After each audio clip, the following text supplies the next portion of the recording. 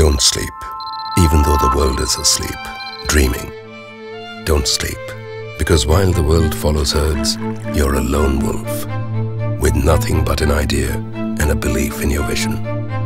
Don't sleep, because the voice in your head won't let you, till you beat your next challenge. You're dreaming, but don't sleep. Just dream with your eyes open. Introducing Ronnie Screwvala's new book, Dream with Your Eyes Open.